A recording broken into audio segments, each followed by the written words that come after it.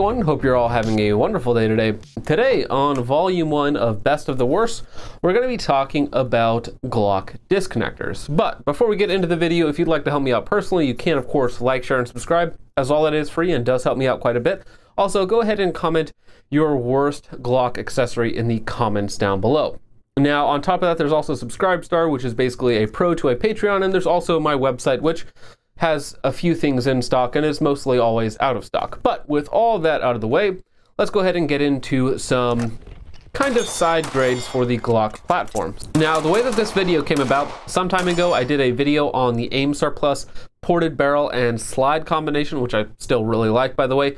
But somehow the topic of Glock upgrade slash trigger slash disconnectors came up, and it was basically put on me by you guys to do a video on Glock disconnectors. Now, Full disclosure on the disconnectors themselves, I have no affiliation with any of these companies whatsoever. I paid for them with my own money, except for 50 bucks that Gary tipped me to help cover some of the cost. So we tested four out of the five disconnectors because one of the disconnectors would not work in this Glock. And before we talk about it, as you can tell, this is not stock. So the trigger shoe and bar is going to be the main component that we're going to talk about when we get into sort of clarifying the system so you understand how these work in this Glock, not necessarily in your stock Glock, because you guys are running stock Glocks, right? Right? Now, the internals on this Gen 3 Glock 17 are mostly stock. On the upper, other than the slide and barrel, all the internals are OEM Glock. And on the lower, the main difference is going to be this custom CNC one-piece brass trigger shoe and bar. Now, on the trigger shoe itself, this was actually a piece that was sent out by a subscriber who was going to be machining these and selling these. That never ended up happening, but the trigger shoe is very pretty, very aesthetic. Again, a single piece of machined brass. Unfortunately, it had a very nice over travel stop that did not work with some of the disconnectors. So I did have to actually grind out the over travel stop that was built into the trigger shoe. So that is the system that all these disconnectors were tested in.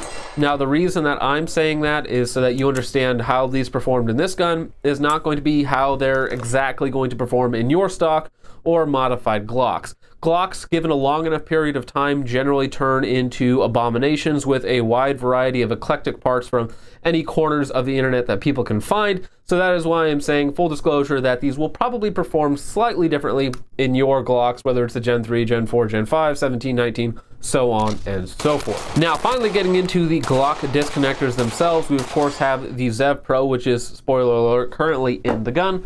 We also had the Black Yikes 3.0 disconnector from the Glock store, which actually has some very, very good videos on how to set up your disconnectors and troubleshoot just about anything on a Glock. So if you want really good videos, you should check out some of their stuff. The Lantac SSR 3.5 pound. This is the super short reset trigger. We also had the Apex Performance Center. This one here I could not get to run whatsoever. I adjusted the lift 100 different times, which is basically just how far it's sitting off of the rear trigger shoe.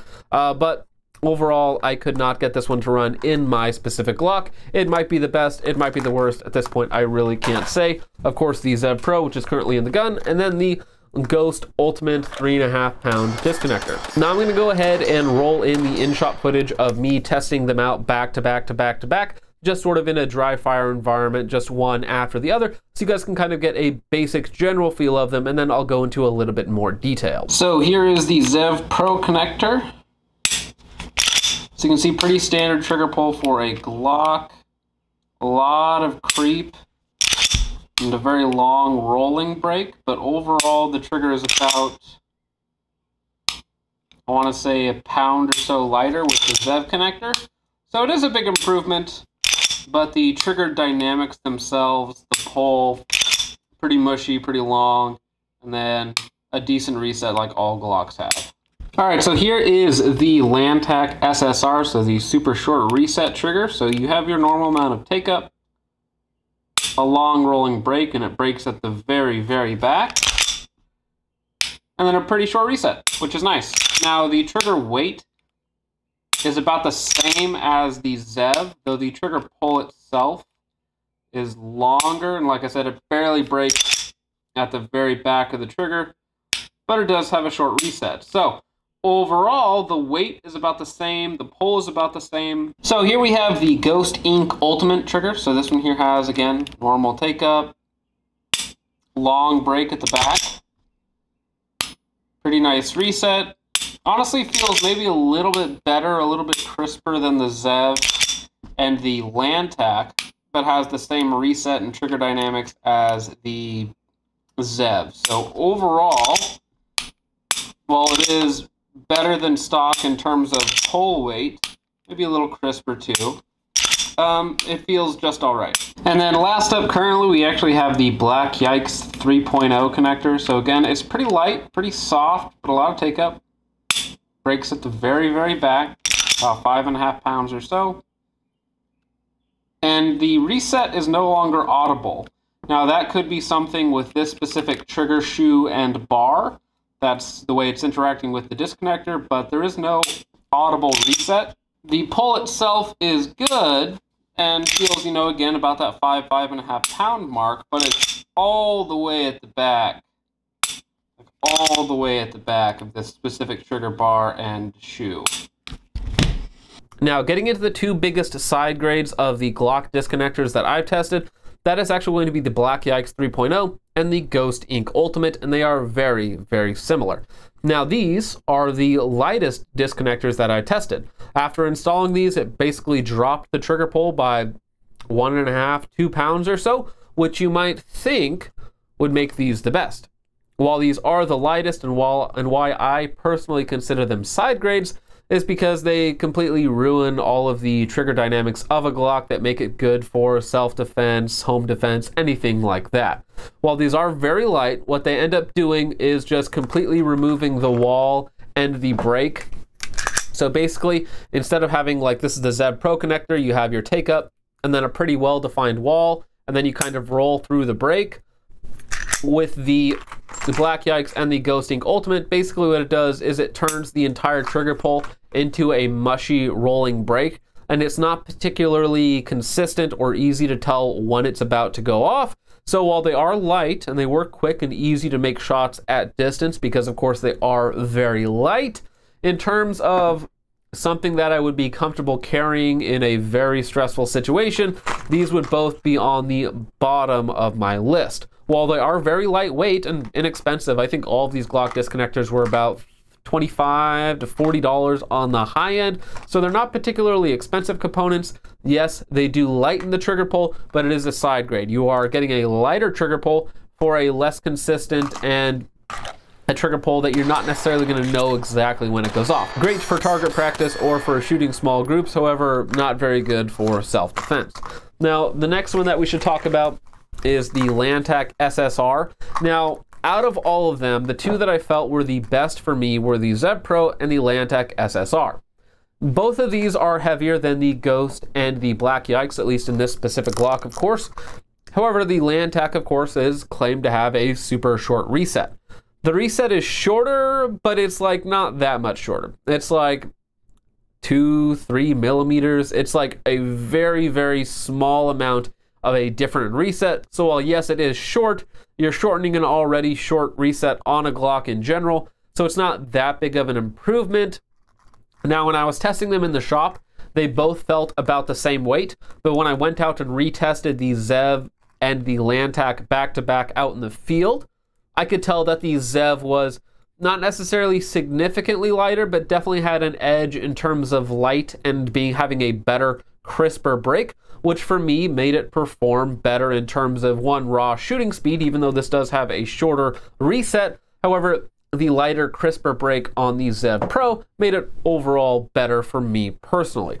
So again, the Lantac is not what I would consider bad by any means and would probably be a runner up it does somewhat ruin the trigger dynamics of a Glock trigger by having that kind of mushy break, but it does make up for it a little bit by being slightly lighter and having a slightly shorter reset. Overall, it is what I would consider to be a true side grade. Its performance increases are completely offset by the detriments of it, so while it's not bad by any means, and some people might actually like it quite a bit, for me it was just okay.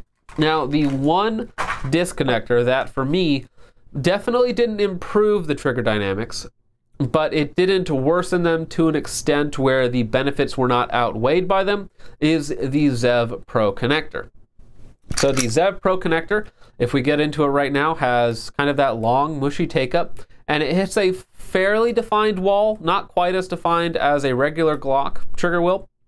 And then it kind of has a rolling break, and the break is about a pound and a half lighter. It's fairly crisp. It has your standard Glock reset, which is short, not super short, but a short reset. And then again, you kind of roll through that wall again at instead of six and a half, seven pounds, maybe five to five and a half pounds. Now, for me personally, that's actually a pretty big improvement in terms of my accuracy out in the field. I was able to run this, I feel, a little bit faster and more accurately than the Lantac SSR or even a stock Glock trigger. So I would say while it still does somewhat ruin the wall of a Glock, now Glock walls are still mushy and hard and you have that rolling break and sometimes they're a little crunchy, but mine is very well broken in at this point. Now, Again, it is a good reset, and then you have a nice rolling break at about, again, five and a half pounds or so. So overall, for my money, and again, this one here, I, I think I got a dealer price on it of like $17. The Zev Pro connector is good. And so it is the one that I would personally feel comfortable carrying and using it in a competition or something like that because it does retain a lot of the good aspects of a Glock trigger for self-defense, home defense, while still improving the pull weight and keeping a crisp, consistent break. So at this current point in time, that kind of sums up my thoughts on the Glock disconnector debate. While yes, they can definitely lighten the trigger pull and they can somewhat shorten the reset, Overall, they tend to kind of ruin the trigger dynamics of the Glock and make it less desirable for home defense, self-defense. Again, having that long, mushy rolling break, like super mushy and very rolling, that rolls forever basically, that makes it very difficult to discern when it's actually going to go off.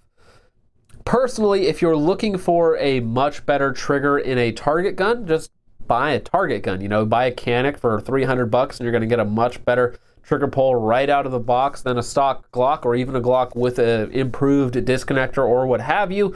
And if you want a Glock for home defense, self-defense, for the ultimate reliability that Glocks provide, well, then you're probably going to want to leave it stock or experiment with certain disconnectors that are not going to absolutely ruin the trigger dynamics of a stock Glock. So, with all that out of the way, guys, let me know what you guys think of the Zev Pro disconnector in the comments down below or what your favorite disconnector is, whether it's just a factory polished Glock disconnector or some combination therein. With all that out of the way, guys, though, thank you so much for watching. I will see you in the next one.